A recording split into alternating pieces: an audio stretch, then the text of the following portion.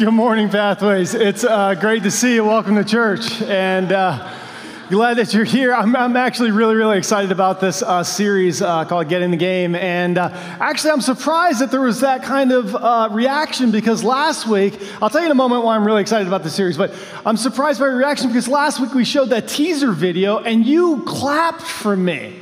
So I really thought that God was at work in this service. In fact, I told first service, I said, second service, they're deeply in love with Jesus because they allowed even me, not just a sinner, but like a tax collector, a Bears fan, to be a part of what's happening here at Pathways. And now I get some grumbling taking place. Okay, all right, maybe maybe we had some people from first service come to second service just to, uh, you know, anyways, they booed me in first service, so at least you didn't boo me. So I appreciate that. Hey, uh, uh, just before we get too long in the service, I want to give you a heads up and let you know that as I was praying and internalizing my message, thinking this through, I thought this is an absolutely perfect message to give people an opportunity to accept Christ at the end of service. So I just want to kind of give you a warning at the end of service today. If you've never accepted Jesus Christ as your Lord and Savior, I'm going to give you the chance to do that. And here's why. Let me explain it to you. Because throughout all the generations, going back to the very beginning with Jesus when it comes to the gospel, there's been these moments in people's lives, and it goes across cultures, it goes across languages, across races and color. It doesn't matter. There's moments when people begin to really believe. There's moments when it's like, okay, I really think I believe there's some, some questions getting answered. God does something in a heart, and all of a sudden they need a moment. We call it a conversion moment, a moment where they say, yes, I actually. So today could be that day, could be that moment for you. So I just want to give you heads up and let you know that at the end of service today, I want to give you the chance to do that. All right, so we're in a series. Uh, we're going to start it today. Get in the game, get in the game. And here's why I'm really excited about uh, this series because I had a blast doing the teaser video up at Lambeau. It was amazing. In fact, when I went up there, I was walking through the pro shop with this t shirt on, as you saw last weekend or on social media. And uh, one of the sales reps, she said to me, She said, Who threw up on your t shirt? I said, okay. I said, touche. So, and then uh, I was, um, I got an email from a, a guy at our church who, who works for the Packers, and he said, I was so greatly disappointed that our security team, uh, uh, the Packers at Lambeau, did not escort you off premises when you shot that video. And, uh, and then somebody actually, uh, one of our volunteers, a guy by the name of Terry, Terry puts together all the communion, communion elements every single time we do communion. That is like his serving role. In fact, can we give it up for Terry? Yeah. He does it by himself. We try to feed Terry volunteer help, but Terry's like, no, God has told me, He has asked me to do this. And so he does it every single time. He is so faithful. But you know what? He dissed me. He was throwing shade on me because here's what he said to me when he saw me backstage. Because I didn't wear this in the lobby or in the, in the parking lot. You saw that earlier today because I figured I didn't want to get shot. So I just, I, I wore this back here. I changed, and Terry saw me and said, Where were you shopping? They actually sell that stuff up here? And I'm like, Oh, okay, Terry, I see how it is. Um, so we might fire him from his uh, volunteer role. No, I'm just joking. Um, but yeah, we're, we're in this series, Get in the Game. And uh, I, I, actually, I'm so excited about this series because I believe that God wants to speak to every single person over the next couple weeks. And, and um, I want to talk a little bit today about, about who's, who's your coach.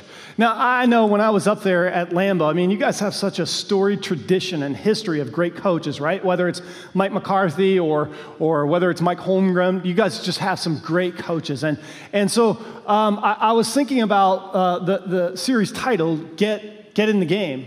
And, and the question that we have to ask ourselves what game? What game are we talking about? Are we talking about football game? No, we're not talking about football game. We're not talking about the money game. We're not even talking about the God game, although God's not a game and God does have some implications in the game that we're talking about. Listen to me. Here's the game that we're discussing. The game is a game that you play every single day. It's called Your Life. Every single day. It's not a game that you have to get into, it's a game that you're already in. Every single day you wake up, it's called your life and you're in the game. Whether you want to be in the game and you want to hit the snooze button, whether you think, oh, it's a Monday, or whether you're trying to escape some pain, or you're thinking, my past, or I don't want to go to work today, or school, oh, first week of school, I'm so done, one summer vacation. I mean, whatever, you're in the game. And there are no OTAs, there's no preseason. This is regular season with some huge implication that leads to those moments of playoff moments and then Super Bowl moments like who you're going to marry. Like, like, like what college you're going to go to, like when can you retire, like these big pivotal moments. Am I going to parent super well in this moment? These are huge moments. And the question, the question I want to ask you is this the question is, are you winning? Are you winning in the game that you're already playing? Are you winning in your life? Are you winning in relationships? Are you winning as a new husband or new wife? Are you winning as, as, a, as a mom or, or as a daughter or as a son? Are you winning as a student? Are you winning when it comes to your business? Are you winning when it comes to the plan that, that, that you foresee when it comes to your work? Are you winning in your relationships? Are you winning in the area of your finance? Are you winning when it comes to your personal health? Are you exercising? Are you, are you eating health, some healthy habits? Are you winning when it comes to your emotions? Like, are you experiencing joy and peace and happiness? Are there things in your life? Are you winning in life? Because I want you to win. I want, I want you to win. I, I want, I want God to, to, to, be winning in you and through you. And, and if you're here this weekend and you're not a Christian, this is a fantastic message, a fantastic series to be a part of because there are some really cool things that, that we're going to learn. And, and the big idea that I want every one of you to hear and, and, and pay attention to is simply this if you're not dedicated to your disciplines, if you're not dedicated to your disciplines, you're going to be destroyed by your distractions. That's kind of the bottom line for this series. And, and when we talk uh, disciplines, I'm not talking necessarily about the, the, the, disciplines that kind of triggers a thought or a, a, word, an image in your mind. If you're a Christian, you might be thinking the discipline of reading the Bible, or, or the discipline of, of tithing, or the discipline of church attendance. I'm not talking about those kinds of disciplines, although I believe in them, although I practice and try to embody those. I'm talking about disciplines that are, have broader implications. They're people disciplines. Uh, did you know that your uh, most famous coach for the Green Bay Packers uh, what was his name? His name was Vince. Most famous coach in 1961 in, in, in, spring training, he gathered the team together and he gave us a famous speech. He held up a football and said, Gentlemen, this is a football. Now, he wasn't talking to Pop Warner, little players, Pee Wees. He was talking to like professionals, paid athletes. Why? Because he wanted to make sure the fundamentals, the disciplines were in place in order for them to be champions. And he said, Listen, this is the size of the football, this is out of bounds. And they were like, What are we talking about? And he said, Man, we're going to win and we're going to be committed to excellence. We're going to win at this game, we're going to win at life. In fact, Lombardi was really big in saying that it is faith, family, and then football. Your coach set priority in terms of what life should look like in order to win. And how many of us get that order mixed up? And we root for the same team that he led to championships. And he said, This is the order of priority. Because when we start talking about winning, there's only one person that sets the agenda and keeps the score, and his name is God. It's not the world around, it's not culture, it's not our own ambitions, our own ego, our own pride. It's God Himself and some pretty good wisdom from Vince Lombardi.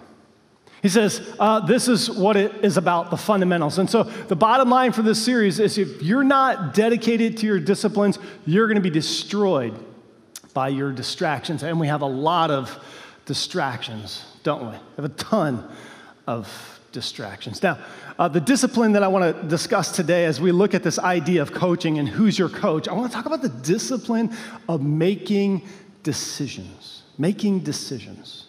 We all make decisions. In, in fact, your life is the sum total of, of the number of decisions that you have made. Every single day, you make decisions. Think about if you're a student and you woke up on Tuesday, if you went back to school and you made this decision, what am I going to wear? In fact, you probably picked it out and had it all ready to go. And then by Friday, you're waking up late thinking to myself, oh my, I gotta, I gotta get something to wear right? We all make decisions. What am I going to eat? Who? I mean, there are so many decisions that we make in life. And today, I want to talk about decision making because life, life, life is about making decisions. Life is about, your life is about the decisions that you have made or decisions that are made about you. And even the decisions that are made about you, you have the power to make decisions about the decisions that have been made about you, don't you? Think about it this way the decisions that were made about you, how, how are you going to respond to those decisions? How much power are you going to give the decisions that have been made about you? Are you going to play the victim? Are you going to play the blamer? What, how much power and credence about the decisions that were made about you are you going to give in your life? Are you going to allow them to replay and to shape your identity? You even have the power to make decisions about the decisions that have been made about you. Life is about making decisions. It's all about making decisions. In fact, uh, decisions are so powerful. Don't you ever wish that sometimes you could go back and undecide some things? I wish you could undecide the decision I made to marry my first spouse. I wish I could undecide saying those words to my kids. I wish I could undecide that financial error. I got way too cocky and I, I blew it in the area of, of this financial decision. We wish we could go and undecide. Don't you wish you could undecide? Man, I wish I would have never picked up a cigarette because now I smoke and it's just killing my. And I wish I would have never made that decision. We all have decisions that we wish we could undecide. They're called regrets. We have those in our lives. And so, um, okay, I'm kind of done holding this ball. Can I throw this now? I'm going to throw this to my friend. Ready? All right, good. He's a Packers fan. See, he caught that. Bears fan would have dropped it. Anyways, uh, all right.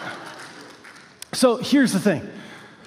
What I want to do today, and if you're not a Christian, it's a great message to sit in on because here's the deal. We, as Christ followers, we have the privilege, and, and here's what we're called to do we're called to, to, to invite God into our lives as we make decisions. As we make decisions. And uh, uh, what I want to talk about is if you are a believer, we pray this prayer sometimes. I pray this. Here's how the prayer goes God, here's, here's, here's how we involve God. We, we, we use these words God, show me your will for my life. Have you ever prayed that prayer? Show me your will for my family. Show me your will for, for I pray this prayer for you. Show me your will for, for pathway. Show me your will for this next season. God, show me your will for how I should parent. Show me your will. We pray this. Show me your will. Show me your will. Show me your will. Because we want to make great decisions. And if you're not a follower of Jesus, you're not a Christian today, you might not be praying that prayer, but I dare you to pray that prayer. Because I believe, I'm convinced, and my experience is when we pray that prayer, that God wants to speak to you. He wants to lead you and to guide you. And I, and I understand that the will of God, if you're a Christian, you've been doing this for a while, you've been following Jesus, the will of God is complicated, it's complex, I get it. It's a little scary. I mean, after all, I mean, uh, Moses, he, he prayed for God's will, and, and God appeared to him in a burning bush. He, if you think about Saul, Saul was thrown from his donkey, right? And, and Jesus showed up and said, uh, uh, Saul, Saul, why do you persecute me?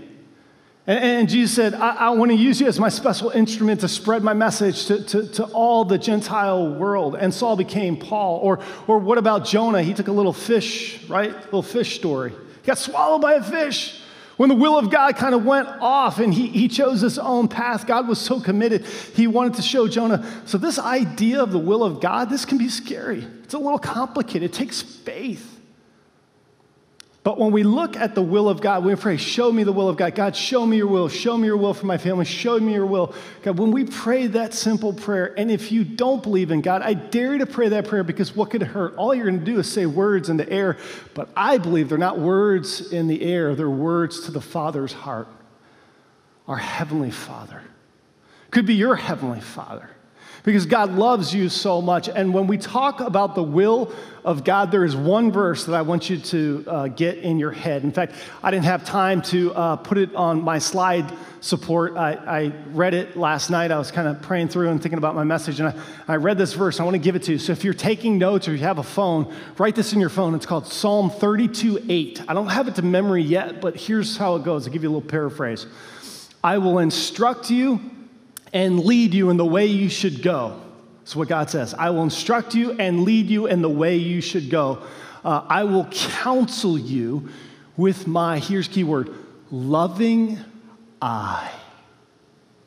Isn't that awesome? That the Heavenly Father has His loving eye on you, that He wants to instruct you and lead you in the way you should go, that our Heavenly Father cares about your life and my life so much that He wants to counsel you in the way you should go with His loving eye, not His judgmental eye, not His condemning eye, not some eye, that His loving eye in your life. Now, when we talk about the will of God, if we were to look at Scripture and you were to categorize the will of God, you could put it in three buckets. Here are the three buckets when we talk about God's will. In decision making, here are three buckets it's the sovereign will of God, it's the moral will of God, and it's the personal will of God. Question Which one are we most interested in? Talk to me. Okay, you, you, we can be selfish. Here's what we are most interested the personal will, right? God, what do you have for my life? God, I need, show me you, for, for me, right? It's okay. This is what we're most interested in. We're probably the most ignorant about the sovereign will of God, and we're most threatened by the moral will of God. So let me kind of break these down. Here's what I want you to see, though. The, the, the, the, clearer we are about the first two, the easier it is to discern the last one. So let me break these down, and just kind of pull them apart. First, the sovereign will of God. The sovereign will of God is that God can do anything that God wants to do because He is God. God is God, you're not. And so God can do whatever. He doesn't need to be fair. He doesn't need to match your agenda. He is God and He can do anything. He is like, uh, how many of you are dads, you're a father, and you know when your kids are saying, hey, can we watch this? Can we watch this? And, and all of a sudden you take the remote and you just change the channel. Why? Because you're dad and you pay the bills and it's your TV. It's like God and His sovereign will, He's just gonna do what God's gonna do and there ain't nothing that nobody can do about it. That's probably a wrong grammatical sentence, but right? Let me give you a verse. Psalm 115, verse 3 says this says, Our God is in heaven. He does, say that, whatever pleases him. He does whatever pleases him. It was just God's will because he had the remote and he could say, you know what, I'm going to choose Abraham. And out of Abraham, I'm going to choose a special group of people, the nation of Israel. He didn't choose another nation, he didn't choose another group, he chose Israel. Why? Because it pleased him. And then through the nation, he said hundreds and hundreds of times, he said, I'm going to bring about a Messiah whose name was Jesus. And Jesus came to planet Earth and he died on the cross and he was raised to life. And here's where it applies to all of us and God's sovereign will, because He's God, because He could just say, This is the channel I want to watch. He said, You know what? I'm going to raise up a group of people called my church, and my son Jesus, He's going to start a movement called my church. And Jesus said, he took 100 people, 120 people, right before he ascended into heaven. He said, You know what? I just want to let you know you're going to change the world. They were like, What? Yeah, you're going to change the world. I want you to go from here in Jerusalem to Judea to Samaria to like all the way around the world. And I want, to, I want you to share the life changing message of who I am, the gospel. And they're like, okay. We're a little nervous to go back to Jerusalem because didn't they kill you in Jerusalem? If we go back there, they might kill us. And so he kept saying, No, but you can do it. And, and I'm going to send my spirit and put him in your hearts, and you're going to have so much power, and, and you're just going to go out. And they're like, little golf clap. We're like, thank you, Jesus. Yeah. Okay. And yet, that's exactly what happened. Why? Because you can't stop God's sovereign will. You can't stop it. Pharaoh tried to stop it. He tried to stop the, the, the, the Israelites from leaving, leading Egypt, and what happened? God just said, We're, we're gonna, we're, I'm, we're, my people, I'm telling you, they're gonna be let go, Pharaoh. Throughout human history, people try to stop God's will. They try to stand in the way of what God wants to do in His church. I mean, all the time. And God just says, This is unstoppable. That's why Jesus said this. Jesus said, I'm going to build my church, and the gates of hell will not prevail against it. And I wish I could get this in your hearts and heads. And I know I understand that all of you are busy, and all of you have families to raise, and houses to keep up, and mortgages and bills, and you're thinking, and your life is frantic and hectic. I get it. But here's what I want you to hear that when you participate in Jesus' church, when you participate in a local church like Pathways, when you give and serve and you invite people, when you're involved in the life of the church, you're involved in the sovereign will of God. You're joining God in building the only thing that God has promised to build here on planet Earth, and that's the church. Do you realize that perhaps, maybe, in my humble opinion, that the greatest thing that we can do as Christians is to protect the integrity of the church and hand it off to the next generation as the most transformative entity on earth because it lifts up the name of Jesus, the only one that can change and mend a broken human heart? So maybe we need to think about our priorities. Maybe we need to think about what winning looks like when it comes to our lives because we can get so distracted. And if you're distracted, you can get destroyed by your distractions. But if you pay attention to those disciplines, man, good things can take place. So uh, that's the uh, sovereign will of God, the moral will of God. Moral will of God is simply this what God has already said. It's the do's and don'ts of Scripture. God wants you to tell the truth. God wants you to pay your taxes. God, uh, God wants you to uh, forgive. He wants you to forgive people. Do you know forgiveness is a miracle? You can't do it in your own strength. God has to do it through you. If you've ever forgiven somebody, you know that that's a, that's a God thing. That's just, but God wants you to forgive. It's, it's part of His uh, moral will. Let, let me, uh, let me give you a verse. We just got done with um, a series called uh, How to Neighbor. Let me give you a verse out of Luke 10 27. It says this It says, Love, say that word with me. Love, not like your neighbor, not tolerate them. If you're a Christian, you're called to this is a moral will. This is something God wants you to do. Love your neighbor as yourself. When it comes to the, the, the, sexual integrity and ethics of Christians, this is God's will for your life. I already know it.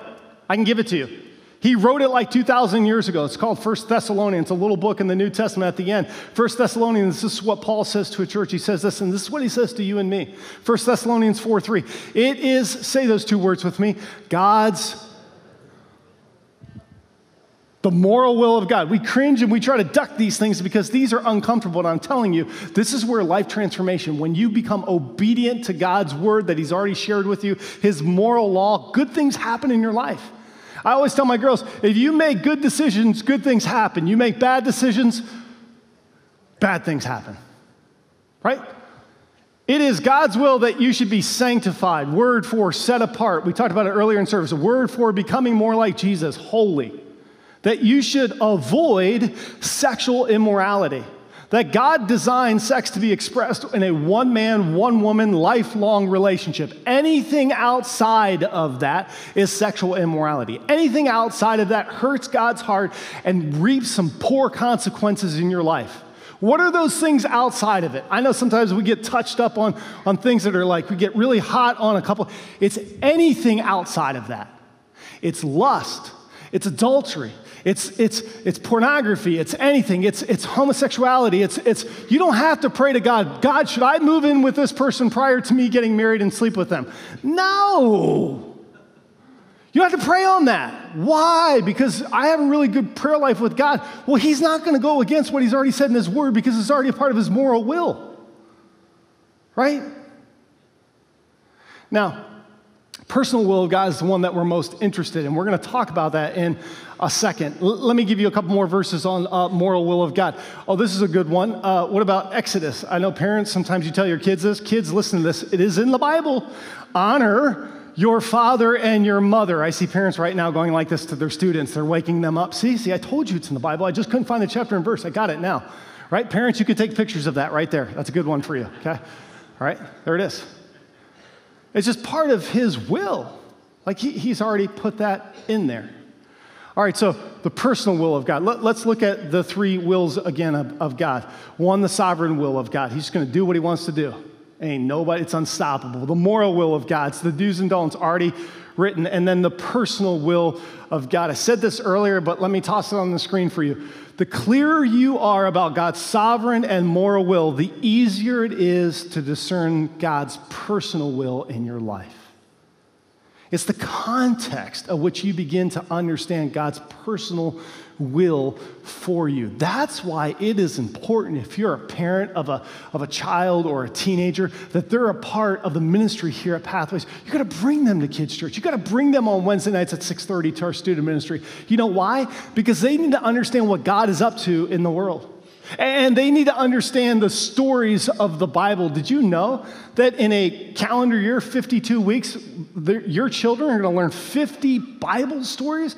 They need to know the do's and don'ts and what that's the foundation by which they begin to understand then who they should marry or what college they should go to. This is the reason that you need to be at church. This is the reason that you need to come to the row. You don't know how many times I meet people and they're talking to me and say, Hey, I wonder, I have a question about this. And I'm thinking, You're wasting your time. God's already said that, that it's already there, it's already contained. And, some of us struggle, and I get it. The Bible's a big book, and, and understanding the stories of the Bible. Let me just pastor you in this moment and say this to you. If you have a hard time understanding the because some of us, we, we wake up one day and you're like, uh, you know, we usually do it like on January 1st. I'm going to read the Bible all the way through. Have you ever done that? And then you get to Leviticus and you're like, oh my word, really? But you can't say anything because you feel guilty because you know it's the Bible, but you're like, man, how's Leviticus? Show me your will for my life. Leviticus is killing me, God. Right? L- let me tell you something. If you have a hard time understanding the Bible, uh, I had one of my friends in Bible college, he did this. He, uh, he actually bought a children's Bible. I said to him, Why do you do that? And he said, Because I never want to forget the stories of the Bible. So go get yourself just a children's Bible, like a real basic one. Get them with the pictures. It's awesome and just read the children's Bible to understand the story of God and how that can impact your life. I promise you, it's going to help with some of those foundational things. If you're a little further along advanced and you want to read the Bible in depth, there's a book that I would uh, just uh, uh, reference. It's called Reading the Bible for All It's Worth. It's by Gordon Fee and uh, Douglas Stuart. Reading the Bible for All It's Worth. It's a fantastic guide in helping you to understand the Bible. All right, so. Um, uh, the clearer you are about God's sovereign and moral will, the easier it is to discern God's personal will for your life. And let me give you the application. The, the, the application, the most important application around this idea is uh, simply this it's that Jesus Christ came to earth as fully God and fully human in understanding God's personal will, because that's what we're, we're, most interested. We're interested. We're selfish as human beings. We want to understand what God has for us. L- let me give you the application to understand Jesus and to fall in love with Jesus and to follow Jesus is the best way for you and me to understand the Father's will. Not just what He's up to in the world, not what He's just already said in the do's and don'ts and the life transformation, the benefits that occur from that, but the personal will of God for your life, which I believe He is so concerned about your life in order to glorify Him. He's not into building your bank account, He's not into your agenda, He's into building the church, His church he wants to use you in that grand endeavor to share a life changing message with as many people as possible. But here's here it is. Here's the application that Jesus came to this earth as fully God and fully human. In fact, if you're familiar with the New Testament, you know the Gospels, Matthew, Mark, Luke, and John. John chapter 1 is highly theological. In the beginning was the Word, and the Word was with God, and the Word was God. And everybody gets, you know, there's commentators that talk about what's the Word? We're going to kind of look at that in just a second. Verse 14, it says this of John chapter 1. It says, The Word. What's the Word? The Word. When we say a word, a word or a series of word, words express our hearts and our thoughts, right? Our hearts and our, and our thoughts. Jesus is the expression of God's heart, of the Father's heart, and his thoughts. It's a word he embodies, not just words, but he's actually the word. He's God himself. He's a message. He's a living message of what God has designed sovereignly, what he has designed morally, and what he wants for your life. The word became flesh and made his dwelling among us. We have seen his glory, the glory of the one and the only Son. Second half of that verse said, Who came from the Father, full of he didn't come from the Father part way, half of this. He's going to bring a couple things, you know, maybe, no, no, no. What did he come full of? Full of grace and truth. If there's one thing I want you to hear today, when Jesus Christ came to earth, he came full of grace. He came with a message to say that he loves you, that he created you and designed you, that he knows you, that he is so intimately acquainted with all of your thoughts, and he still loves you. Even when you get mad, even when you want to give up, even when, when it looks like it is impossible, God loves you through his son, Jesus Christ, and he has come to give you grace. But when Jesus came, he also came full of truth. Because the Father realized that, you know what, you can come and you can say grace, grace, grace, and you can say grace, grace, grace, grace, grace, grace. But unless there's truth there, it doesn't have the kind of transformation that is needed in our lives. And so Jesus came full of truth to say, This is the path. Here's my loving eye. Here's how I want to instruct you. Here's how I want to lead you. Here's how I want to guide you.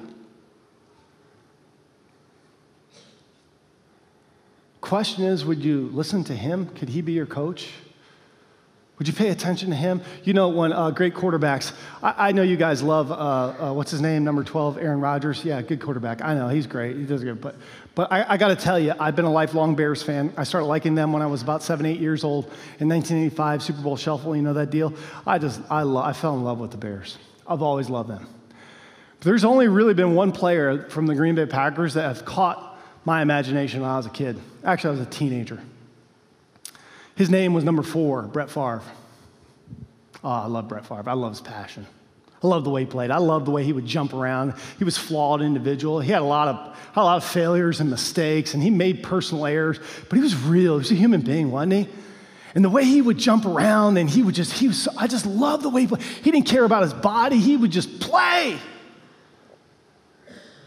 Every single day, it's like you and I are like a quarterback. We're like a, a Brett Favre, and we run out into this world, and it's like this loud, noisy stadium, everybody vying for our attention and saying message to us. But if you ever watch Brett Favre or any great elite quarterback, when they walk out into the field and their fans screaming, either way, cheering or booing or whatever it is, eventually, here's what the quarterback will do he'll go like this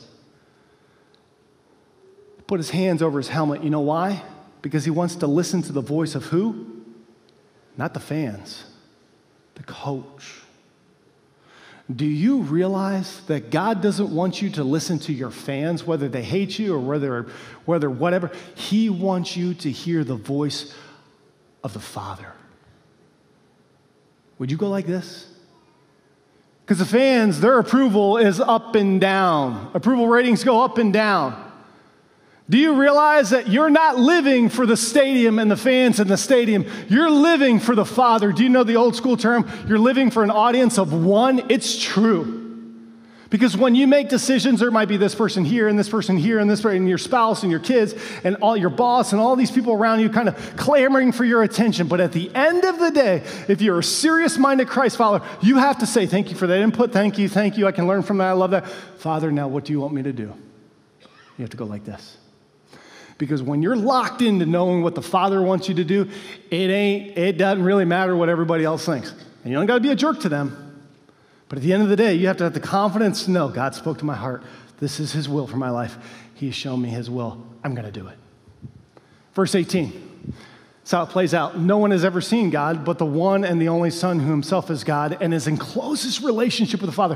Why would you not want to have Jesus as your coach and your Lord and Savior? He's in closest relationship with the Father. He knows the Father's voice. And he has made the Father known to all of us, to you. In just a moment, I'm going to give you an opportunity to surrender your life to Jesus Christ. To transfer your trust from whatever you've been trusting in to, to trust in Jesus. Not only as your Savior, but as your coach. Now, how does He coach us? You know how He coaches us? When we position our hearts in front of Him, something we call the chair, chair time. Chair time is so important. In fact, if you don't regularly, it's the most important appointment you can have every single day is to spend time with Father. In fact, if you don't do this, you, you, you need to spend time. You need to open the Bible and you need to read a passage of Scripture in order to help you Here's what I want every one of you. If you've never used uh, YouVersion, the Bible app, if you don't know how to download an app, talk to somebody who, you know, in our church. We'll help you out. Call the church. I want you to do this.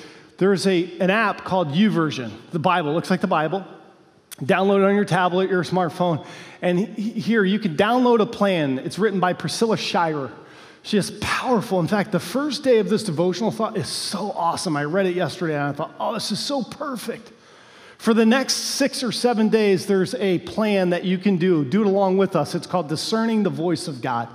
When we pray that prayer, show me your will, show me your will, how do you discern that? Priscilla is going to help you think through that from a biblical perspective. You need to download that, sit in your chair, position your heart because God wants to speak to you and He cares about every part of your life.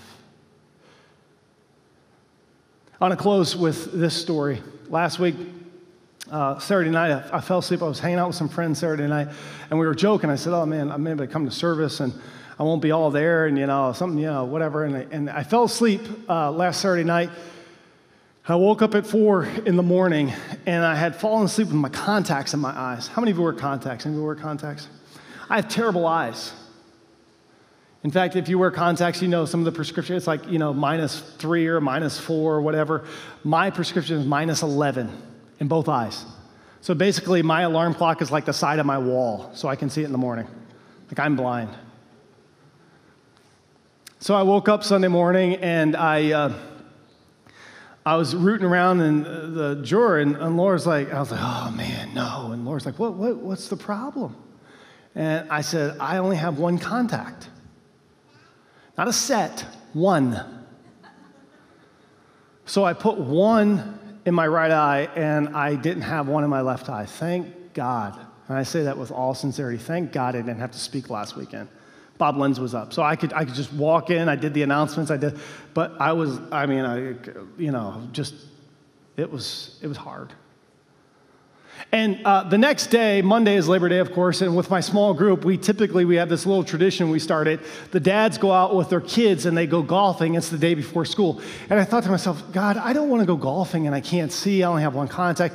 And by the way, I don't have any glasses because they're like Coke bottles and I'm not wearing them in public. I'm too vain for that. So I broke those a long time ago. No, they're in my, but I just, I'm not wearing them.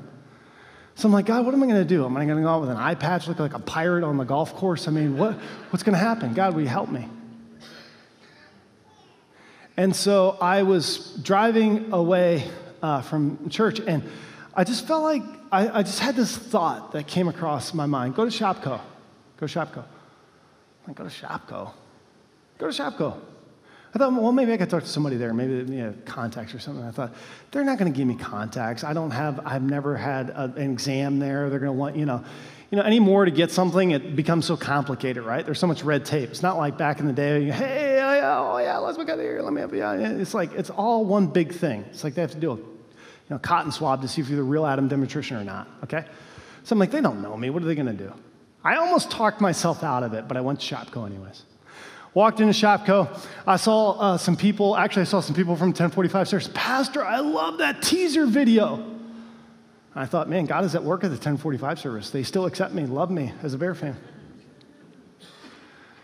And then I saw some people from our small group, they were there, and I gave them a high five, and they're like, oh, yeah, I can't wait for the series. And I just felt like, and if you're not a religious person, if you don't know God, this might seem weird, but I felt like it was a place of peace in that moment. I felt like there was peace there.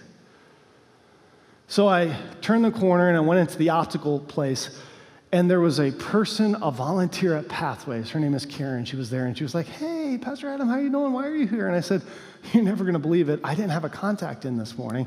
I don't my contact." She said, "Oh." She said, "Really?" She's like, "Well, what's your prescription?" I'm like, "Negative 11." And I had the little box, and she's like, "Ooh." Said, um, "Said, good thing you didn't have to preach today." I said, "Yeah, good thing. Praise God." So she said, "Well, let me go look." And sure enough, she gave me a couple contacts just happen to have negative 11, don't usually carry those. said, Here, take three of these. These should last you. Because I'd already called 1 800 contacts and I was already thinking, you know. And I walked away. I would have never, I'm convinced, I would have never been obedient to that thought that came across my mind. It wasn't my thought. God gave me that thought. If I hadn't positioned my heart and consistently opening my life up to God, God, would you speak to me? God, would you show me your will? Spending time in the chair. Who's your coach? Who are you listening to? Are you making time for this? Making time for this. There's always going to be voices, friends. But this voice is the voice that counts. Would you bow your heads all across this room?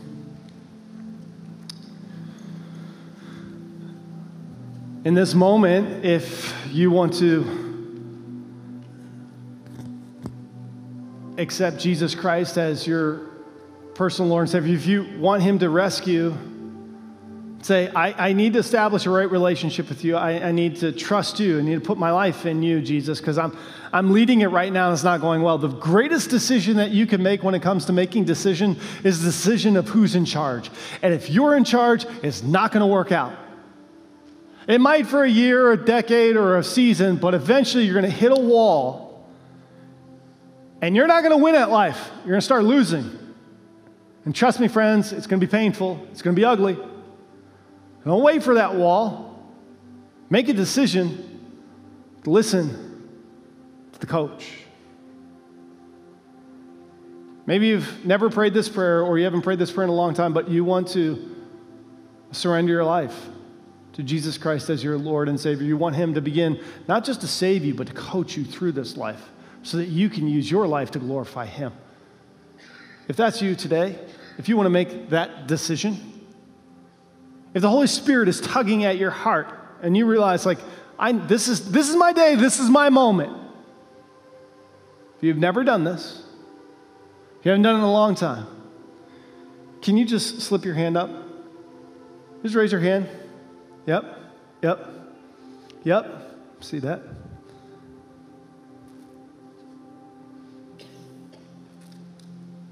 Yep, see that in the back? Yep. Okay. Now, if you feel comfortable, if you are a believer, there's about four or five people that raise their hands. If you would be willing to say this prayer along with them out loud, because I don't want to embarrass them. And yet, I want them to say this prayer out loud because I feel like there's something powerful when we say something out loud audibly. You can say it quietly, but out loud. If you're not a believer and you chose not to make that decision, then you don't have to say this, obviously. But there are hundreds of people around here who have said this, had this moment. And so we want to share in this with you. So if you are a Christian or if you raised your hand, let's say this prayer together God, you know my life. You created me. So why wouldn't I allow you to coach me? Today, I want you to be my coach. I want you to be my Savior. Forgive me my sin. I confess them to you. Erase them. Forgive me. Come into my life. Change my life. I want to live for you. I pray, that, I pray this prayer in faith. In Jesus' name, amen. You know, if you prayed that prayer, you made the greatest decision of your life. And now you're inviting Jesus to change you. And now he's going to come with his full wisdom, full of grace and truth to guide your life. I promise you that. In fact, uh, can we just show some, some love and celebration for God in changing some people here today? Yeah.